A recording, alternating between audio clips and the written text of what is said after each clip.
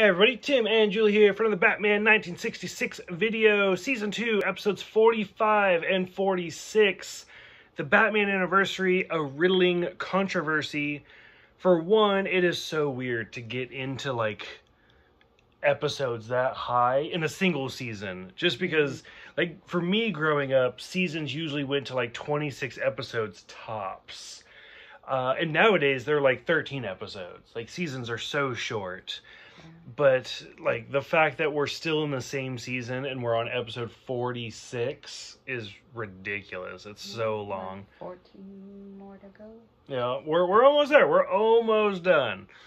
Um so for this one which i looked it up and i'm a little sad because it's all about like the batman anniversary and stuff like realistically a few episodes ago the the zodiac one with the joker was actually the one year anniversary for batman the series. Because it started in 60 like january 66 the zodiac was january of 67 mm-hmm. so that was actually the batman anniversary. So this one i, I don't know.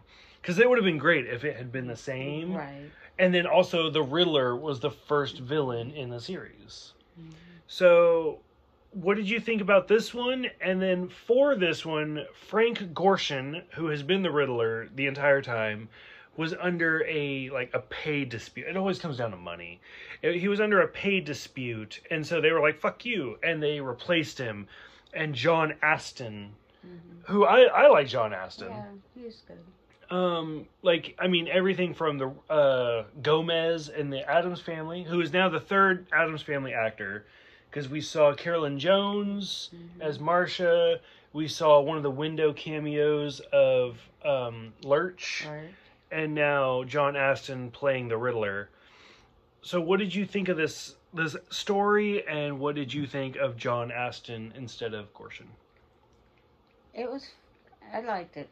I mean the the way they got Batman and Robin down. mm-hmm. You know, um, Commissioner Gordon said, "Oh, you can't come to the office. oh yeah yeah yeah You When it's a surprise. Yeah, you gotta come wherever it was, pit yeah it was like Yeah, some, banquet hall Banquet hall. And he opened it up, and there was all these people in there. And Mm-hmm. congratulations! Which I don't think they actually said like how like what anniversary it was. No, Like if it was a two year or a three, a ten year, who knows? yeah, but that was nice the way they did it. Um, I kind of like Frank Gorshin. as- Better. yeah, Mhm. as the Riddler. And I mean, John Astin didn't do too bad. The For me, I think it's just like I'm familiar with Gorshin. mhm. Like if it had been John Astin from the beginning, from the beginning, yeah. I and even if they had swapped, like let's say it was John Astin the entire time, and then in this season John Astin was a paid dispute, so they got Frank Gorshin. uh-huh, Like I would have been like, oh, he's pretty good, but like I'm so used to John Astin, but right, it's it was weird. yeah. But I did think he did very good. And as you know, I love to watch like classic 60s, 70s, 80s game shows. So uh-huh, John Astin and Patty Duke, Duke, right. show up all the time. So it's it's great to kind of see John Astin as the Riddler yeah, because I felt more like familiar with him Mhm. because of game shows and Gomez and stuff. yeah. But- Some of his jokes weren't. Nah, they weren't that good. Mhm. And that's where because we both had to sit there. Okay, that last joke when they, Batman and Robin were in the car Mhm. and they were talking about this last, the last Riddle? joke, the last riddle, wanting to know. Uh, what the other three were. Oh, We right, and we were like, what were what they? Yeah. they? And then they started talking about it, Mhm. and it, it made sense. Yep. But the underwater oh, fight. Oh, God, that, that yes. I thought we were seeing moments of that last fight with Robin. was taking- so long. Yeah. And it was, I mean, realistically, for being 1967, it wasn't bad. But you're like just watching it, especially like today. Like if you're an actor and the script's like underwater fight, they're putting you underwater, Mhm. and you could tell they were just like, okay, they filmed it normally and just slowed it down, and they put a screen over it to make it look fuzzy. Mhm. Oh god, it was awful. it was so bad. Yeah. Just watching them try to do this fight underwater. but um, then getting um, lured up into the giant cupcake Mm-hmm. The the quicksand cake. quicksand, and they had to use their something bat something rocket boots. boots to slow down and you know when they got to a certain level and then it activated and Mm-hmm. into there. But we got to see. It looks like a new Batcopter. Yeah, And that's then I couldn't tell that you one. were in the in the other room when they sh- rode up on the new. Uh, looked new because it was white Okay, and um, Bat Cycle. which I don't know. That could be just them like trying to get ready because I mean the new season was right around the corner at this Mhm. point. Yeah. The the Batcopter I couldn't tell if that was new or not. Like because it kind of looked like the movie, Mhm. which I mean at this point it'd been a while, so they could have just re redecorated it or whatever. Um, yeah, a lot of new stuff for those one. Right. Which yeah, we got. I mean, realistically, every episode's a duo, so yeah, we got like seven, seven more, and then we're done with season two. Yeah. And season three will be a blink of the eye compared to season two. I feel like we've been in season two forever. Yes, we have. Um, okay. Uh, any other closing closing comments for this one? No, it it was actually pretty good. It just, I don't know, because he didn't really.